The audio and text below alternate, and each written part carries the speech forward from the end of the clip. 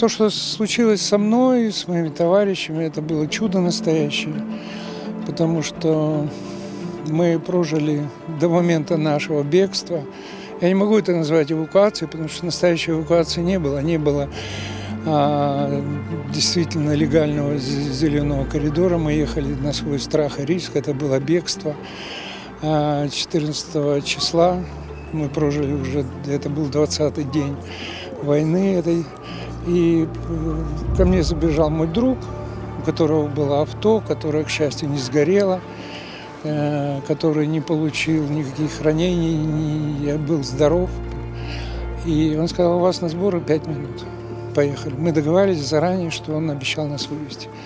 Мы сели и поехали. Мы поехали дорогой, которая по нашим предположениям, была свободна от боевых действий. Мы не были ни в чем уверены. А, и сначала мы заехали в Бердянск, который уже был занят российскими войсками. Бердянске было по сравнению с Мариуполем. Мариуполь к тому времени уже много времени жил без света, без связи, без газа, без воды, без ничего. Это была настоящая блокада. А, мы уехали в Бердянск, нас там встретили на двух блокпостах, и они считали себя защитниками нашими, и успокаивали, вот видите, как хорошо, город сдался без боя, он не разрушен, здесь все работает. И сказали, вот, а куда вы едете? Мы честно ему сказали, мы едем в Запорожье. Мы едем в Украину. Зачем вам надо там туда, там бои, вы не проедете и говорит, вот поезжайте там в пансионат какой-то, вас примут. Но они чувствовали себя спасителями и хозяевами. Это, конечно, бесило, мы ничего не могли сказать. Мы туда не поехали, мы нашли гостиницу неплохую. Э, мы ехали небольшим э, караваном из восьми машин и заселились в гостиницу. Гостиница, ну, Бердянск – это курортное место, которое живет сезон курортный, и зимой там ничего нет. Но местные администраторы и владельцы гостиницы, они понимали, что сюда поют людям, и это тоже их миссия была. Они открыли это все, нас поселили. Там была вода из крана, которую мы не видели уже три недели. Там был свет, там была горячая вода, там была чистая постель. Это было такое это было еще одно маленькое чудо на нашем длинном пути.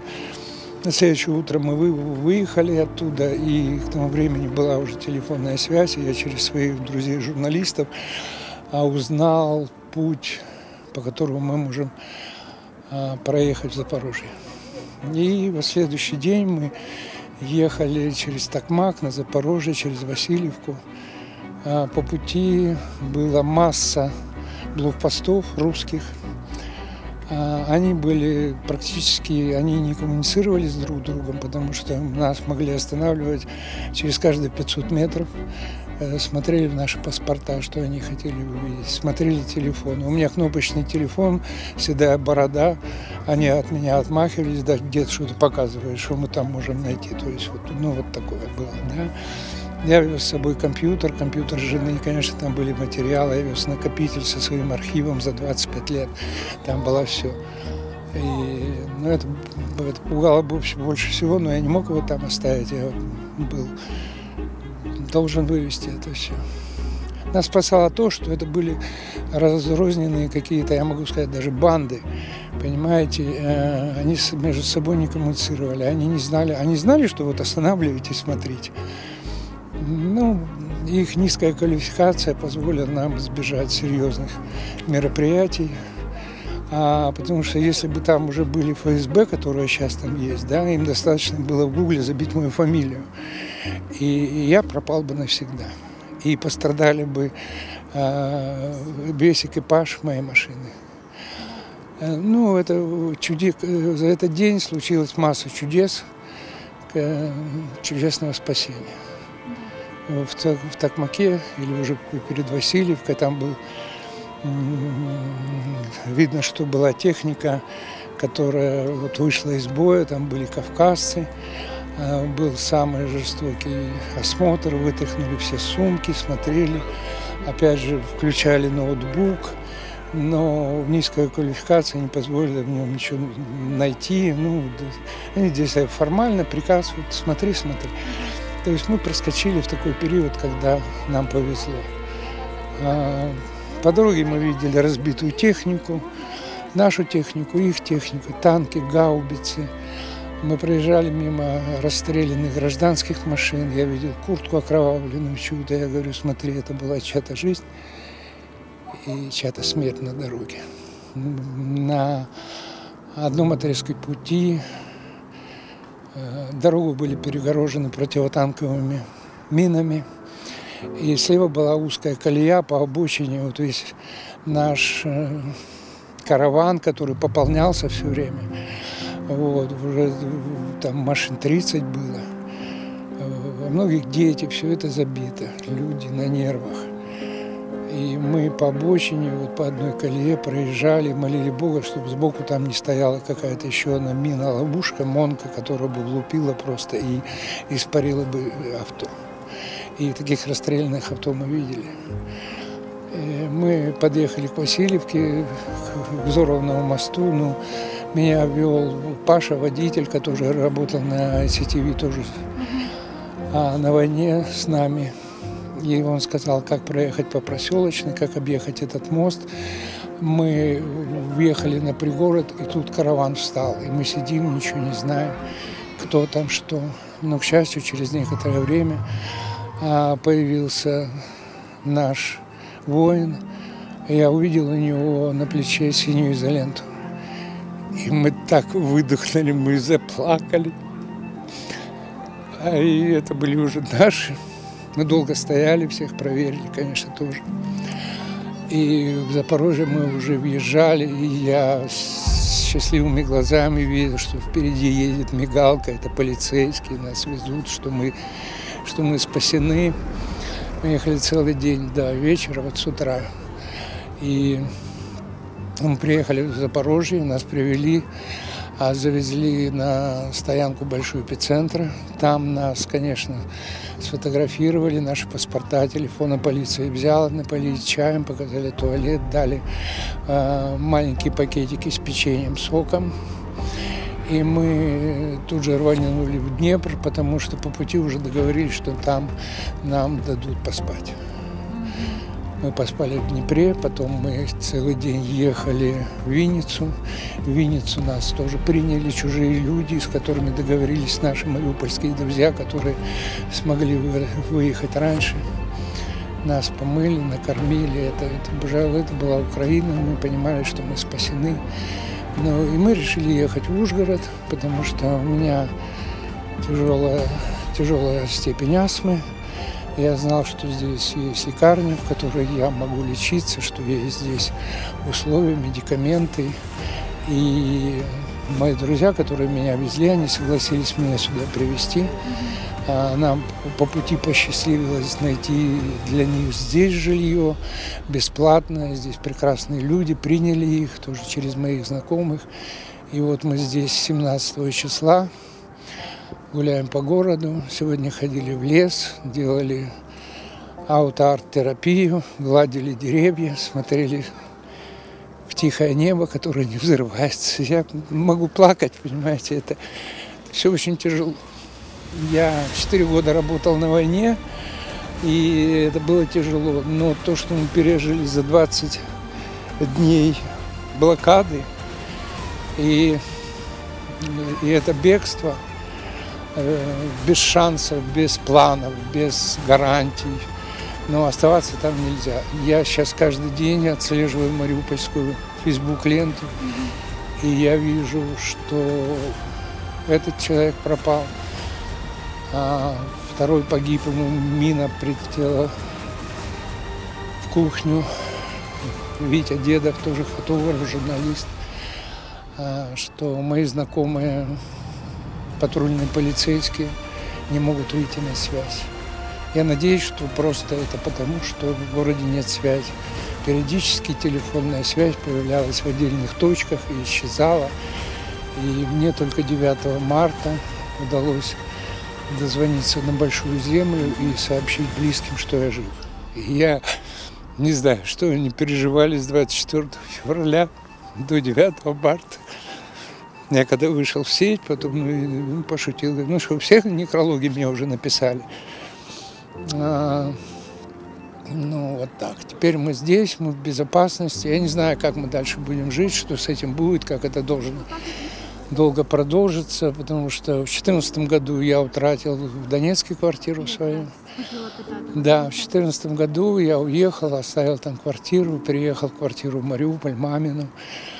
Хорошо я отремонтировал, вложился, мы жили. Мы жили в 25 километрах от войны, каждый день слышали взрывы, но мы знали, что там стоит наша армия, наши морпехи, 128-я бригада ваша.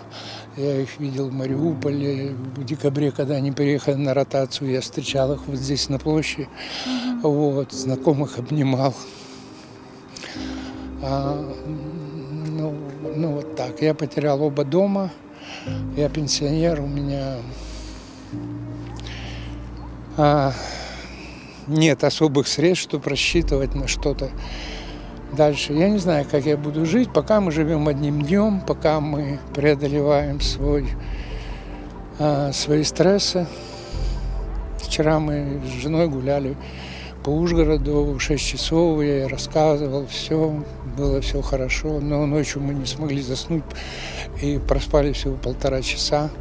Это такие качели у нас, которые, я знаю, будут долго, потому что после донецких стрессов, после всех трагедий, моя голова выздоровела только через пять лет.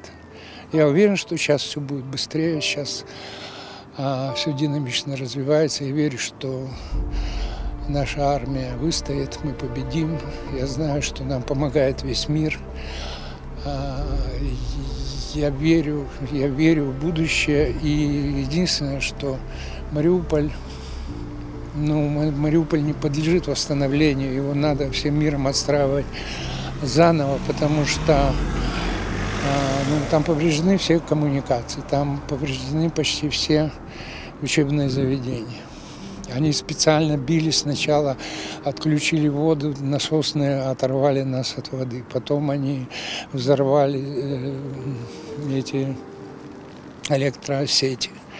Исчезало все. И когда последний исчез газ, и я понял, что мне надо идти на улицу и с моей астмой пилить какие-то дрова, а это было ужасно. Конечно, мы ходили, нам помогали соседи, пускали на костры. Мы жили так, у нас было расписание.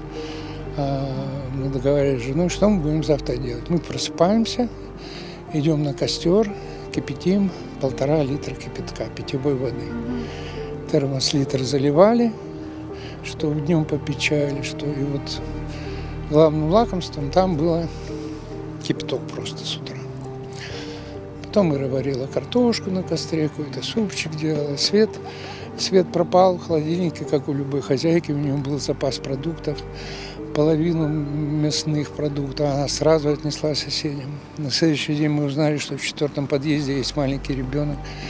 Мы нашли манную кашу, пакет этого молочного питания, малыш, еще что-то отнесли к ребенку. Мы помогали друг другу, как могли. Соседка нам давала морковку, мы эту морковку терли на терку, ели два дня, мы давали ей картошку, потому что я купил мешок, мне повезло. С водой было очень плохо.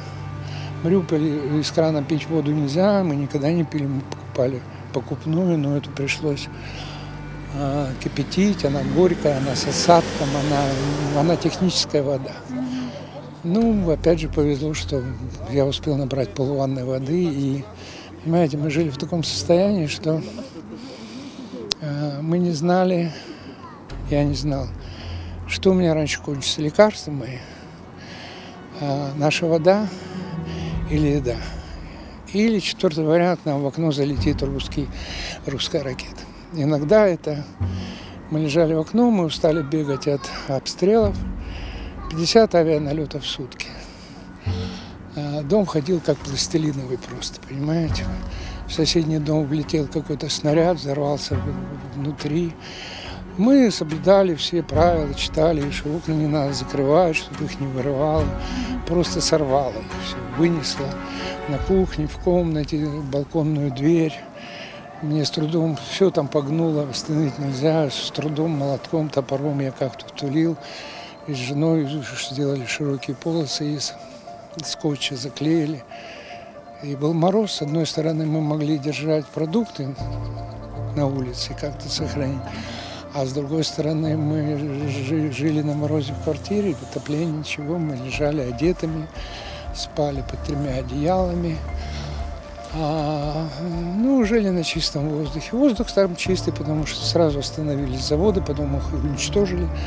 У нас в Мариуполе была традиционная тяжелая экология. И тут вот чудо. Мороз сохранил нам продукты, а заводы перестали портить воздух. Ничему. Ну, во-первых, а, у меня давно нет работы, у меня нет редакционного удостоверения. Выйти в город в военное время, вообще военное положение запрещено в видеофиксации. А тебя полиция, жители могут принять за наводчика, понимаете? И фотографировать места и выкладывать их, это неправильно. И неправильно ни сейчас, ни здесь, ни в любом городе. Это не, нельзя такого делать. Но у нас не было связи, я бы не мог это сделать. Но я мог а, подвергнуть опасности людей, которые вокруг меня. А я мог вызвать э, соответствующую э, реакцию людей. Я знаю, что некоторые люди, которые пытались сфотографировать и донести кому-то когда-то, а останавливалась полиция, проверяла документы, забирала телефоны. И это правильно с точки зрения безопасности, потому что никто не знает, сколько было там законсервированных агентов русских, сколько там ДРГ чего ты задание выполняешь. Такая война, что ну, это могло просто навредить. Я не имел возможности это передать, кому-то показать и как-то показать. И, тем более я знал, что у нас работают прекрасные ребята в пресс-службе полиции. У них были ресурсы, и они все это фиксировали. Да, в этом плане, то есть я считал, что лучше мне а, ничего не делать, чем навредить людям, себе и, ну, вот я принял такое решение. Да, конечно, это был страх, я не скрываю, понимаете, это был страх тоже. А в отдельные моменты я не мог отойти от дома больше, чем на 100 метров, потому что летела мина, я не мог падать, я не мог бежать, я боялся своих приступов. И когда мы путешествовали вот к моему другу периодически под этими налетами, мы заходили при аэроналете, мы лезли в первый попавшийся подъезд, там стояли люди, которые прятались. Была такая тревожность, они спрашивали, откуда вы идете? Мы говорили, а куда вы идете? Они просчитывали, да, мы идем по этому маршруту, потому что местные, да, другого нет. То есть контроль общественный был такой, потому что а периодически в городе были какие-то стрелковые бои, значит, это какие-то диверсанты. Мы очень боялись десанта с моря. Город был окружен с трех сторон. Он был с, с востока бои, которые были 8 лет, со стороны Волновахи, с севера они нас тоже отрезали. И вот когда захватили Мелитополь, прошли с Крыма, стало понятно, что все нам хана, мы в абсолютной блокаде окружения, они уничтожили все средства жизнедеятельности нашей. Остались акации, которые можно пилить, и палеты, и... Ну, вот я увидел до последнего дня, дня я видел, что на бульварах, во дворах люди не повредили ни одной лавочки, не распилили ни одной детской площадки. У нас прекрасные дворы были, сделали в СМД, ухоженные. И вот до последнего люди берегли вот это свою людяности свой какой-то призрачный уют в городе, которого больше не будет никогда, понимаете?